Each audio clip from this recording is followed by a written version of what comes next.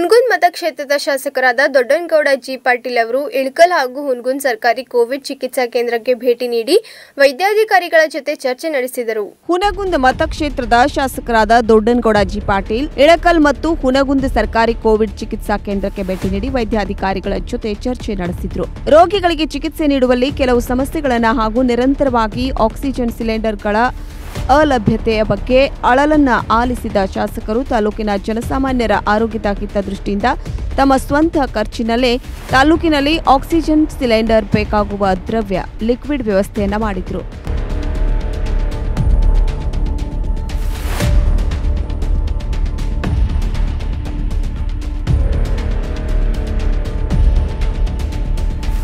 ಮತ್ತು ರೋಗಿಗಳಿಗೆ ನಿರಂತರವಾಗಿ ಚಿಕಿತ್ಸೆ ಮಾಡಲು ಹಾಗೂ ಇತರ ಸಮಸ್ಯೆಗಳಿಗೆ ಜಿಲ್ಲಾ ಆರೋಗ್ಯ ಮುಖ್ಯಾಧಿಕಾರಿಗಳೊಂದಿಗೆ ಚರ್ಚೆ ಮಾಡಿ ಇಂದಿನಿಂದಲೇ ಸರ್ಕಾರಿ ಆಸ್ಪತ್ರೆಗಳಲ್ಲಿ ಚಿಕಿತ್ಸೆ ದೊರಕಿಸಿಕೊಡುವಂತೆ ವೈದ್ಯಾಧಿಕಾರಿಗಳಿಗೆ ಆದೇಶ ನೀಡಿತ್ತು. ಈ ಸಂದರ್ಭದಲ್ಲಿ ನಗರಸಭೆ ಅಧ್ಯಕ್ಷರಾದ ಶ್ರೀಮತಿ ಶೋಭಾ ಆಮದಿಹಾಳ್ ಹಾಗೂ ಇನ್ನಿತರರು ಉಪಸ್ಥಿತರಿದ್ದರು.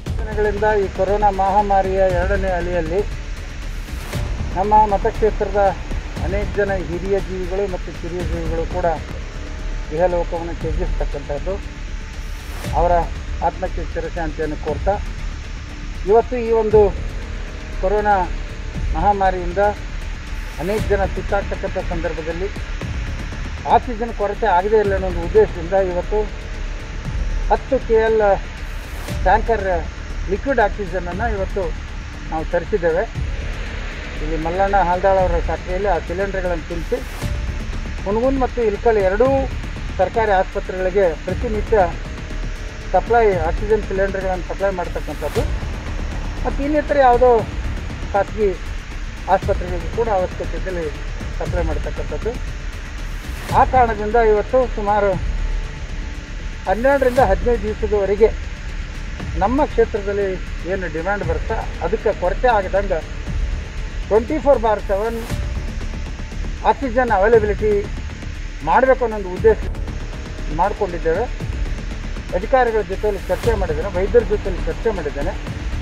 ಅದನ್ನು ಪ್ರಾರಂಭ ಮಾಡಿಸಿಟ್ಟು ನಮ್ಮ ಕ್ಷೇತ್ರದ ಯಾರೇ ಬರಲಿ, ಈ ಕೊರೋನಾಗೆ ತುತ್ತಾದಂಥ ಸಂದರ್ಭದಲ್ಲಿ ಯಾರೂ ಕೂಡ ಧೈರ್ಯಗೆಡಬಾರ್ದು ಧೃತಿಗೆ ಧೃತಿಗೆಡಬಾರ್ದು ಧೈರ್ಯದಿಂದ ಎದುರಿಸಿ, ಯಾರು ಕಡಿಮೆ ಸಿಂಟಮ್ಸ್ ಇದ್ದವರು ಡಾಕ್ಟರ್ ಸಲಹೆ ತೆಗೆದುಕೊಂಡು ಮನೆಯಲ್ಲೇ ಇದ್ಕೊಂಡು ಚಿಕಿತ್ಸೆಯನ್ನು ಪಡೆಯಿರಿ. ಯಾರಿಗೆ ಅನಿವಾರ್ಯವಾಗಿ ಆಸ್ಪತ್ರೆಗೆ ಹೋಗಲೇಬೇಕಾದಂಥ ಸಂದರ್ಭದಲ್ಲಿ, ಅವರಿಗೆ ಆಕ್ಸಿಜನ್ ಬೇಕೇ ಬೇಕು ಅನ್ನೋ ಸಂದರ್ಭದಲ್ಲಿ ಹೋಗಿ ಅಡ್ಮಿಟ್ ಆಗಲಿ ವೈದ್ಯರಿಂದ ಚಿಕಿತ್ಸೆಯನ್ನು ಪಡೆಯಿರಿ. ಮತ್ತು ಜೊತೆಗೆ ಏನಪ್ಪ ಅಂದರೆ ಈ ಮಹಾಮಾರಿಯನ್ನು ತಡಿಬೇಕು ಅಂತಂದರೆ ನಾವೆಲ್ಲರೂ ಕೂಡ ಒಂದಾಗಿ, ಒಗ್ಗಟ್ಟಾಗಿ ಎದುರಿಸಬೇಕಾಗಿದೆ. ಇದು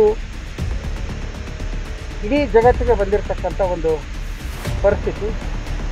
ಆ ಕಾರಣದಿಂದ ನಾವು ಅಂತರವನ್ನು ಕಾಯ್ಕೊಳ್ಳೋಣ ಜೊತೆಗೆ ಗುಂಪು ಗುಂಪಾಗಿ ಸೇರೋದು ಬಿಡಬೇಕು. ಆಮೇಲೆ ಕಂಪಲ್ಸರಿ ಎಲ್ಲರೂ ಕಡ್ಡಾಯವಾಗಿ ಮಾಸ್ಕ್ ಅನ್ನು ಧರಿಸಬೇಕು ಅನ್ನೋ ಒಂದು ವಿನಂತಿಯನ್ನು ಈ ಸಂದರ್ಭದಲ್ಲಿ ತಮ್ಮಲ್ಲಿ ಮಾಡಿಕೊಳ್ತೇನೆ. ವೀಕ್ಷಕರೇ, ನಮ್ಮ ಸತ್ಯಂ ವಾಹಿನಿಯ ಪ್ರತಿದಿನದ ಅಪ್ಡೇಟ್ ಮಾಹಿತಿಯನ್ನ ತಿಳಿದುಕೊಳ್ಳಲು ಸತ್ಯಂ ಟಿವಿ ಕನ್ನಡ ಯೂಟ್ಯೂಬ್ಗೆ ಸಬ್ಸ್ಕ್ರೈಬ್ ಹಾಕಿ ಹಾಗೂ ಬೆಲ್ ಐಕಾನ್ ಅನ್ನು ಕ್ಲಿಕ್ ಮಾಡಿ.